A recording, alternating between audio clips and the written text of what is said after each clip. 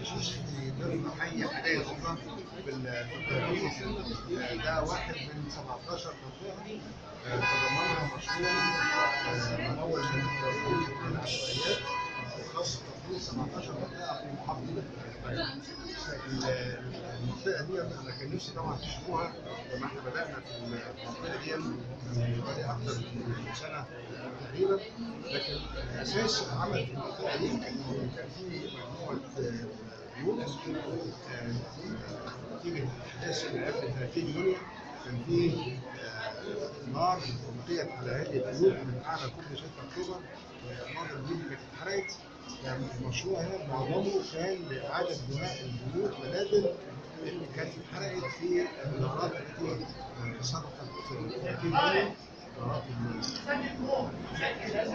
الجهادية اللي تمت في هذا في هذا الوقت. إحنا بقى استغلينا فرصة وجودنا في المنطقة هنا فمع إعادة بناء المنازل دي مرة ثانية إحنا طورنا الصرف الصحي في المربع اللي إحنا موجودين فيه ده. وبدأنا نطفي الشوارع خلينا المنظر اللي أنتم شفتوه لكن الشيء يمكن الجديد إحنا حاسين ان في الفترة كويسه إن إحنا عملنا ما يطلق عليه مركز خدمة المجتمع. إنشأنا على قطعه أرض مملوكه لمحافظه القاهره